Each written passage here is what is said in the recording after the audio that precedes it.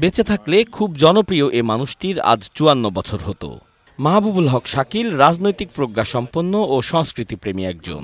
ছিলেন প্রধানমন্ত্রীর সাবেক বিশেষ সহকারী ও ছাত্রলীগের কেন্দ্রীয় নেতা। অনেক অকাল প্রয়াণের পথে চলে গেলেও মানুষকে ভালোবাসার প্রতিদান তিনি পাচ্ছেন।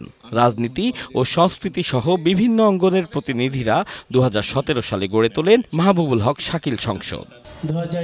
প্রতি বছরের মতো এবারও সেই সংসদের আয়োজনে উদযাপিত হলো তার জন্মবার্ষিকী।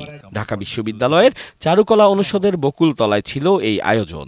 সংস্কৃতি কর্মীদের সাথে সরকারের একটি যোগাযোগের সেতু হিসেবে তিনি কাজ করেছেন। তিনি তার যে সামান্য রচনা করে গেছেন এইগুলি আমাদের মাঝে শাকিল ভাইকে বাঁচিয়ে রাখবেন।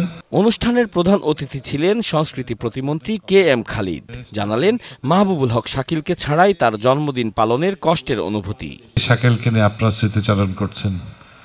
একজন মানুষের মৃত্যুর পর তাকে নিয়ে স্মৃতিচারণ করা, তাকে নিয়ে কথা বলা, তার প্রশংসা করা, এইটি হলো মানুষের জীবনের সবচেয়ে বড় প্রাপ্তি।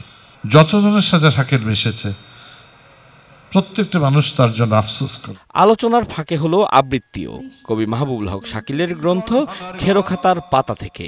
চেতনায় কড়া নাড়ে একটি মাত্র নাম বঙ্গবন্ধু শেখ মুজিবুর রহমান। সহধর্মিনী নীলুফার আঞ্জুম পপি জানালেন শাকিলবিহীন এই সময়ের কথা। আপনাদের সবার কাছে হয়তো মনে হয় শাকিল নাই কিন্তু যেই মাহবুবুল হক শাকিলকে আমি জানি চিনি তিনি চব্বিশ ঘণ্টা সাত দিন, তিনশো পঁয়ষট্টি দিন আমার সঙ্গেই আছেন। জন্মোৎসব অনুষ্ঠানে ছিল সাংস্কৃতিক আয়োজন। এ সময় দেশাত্মবোধক গান পরিবেশন করা হয়। আতাউর কাউসার, বৈশাখী সংবাদ, ঢাকা।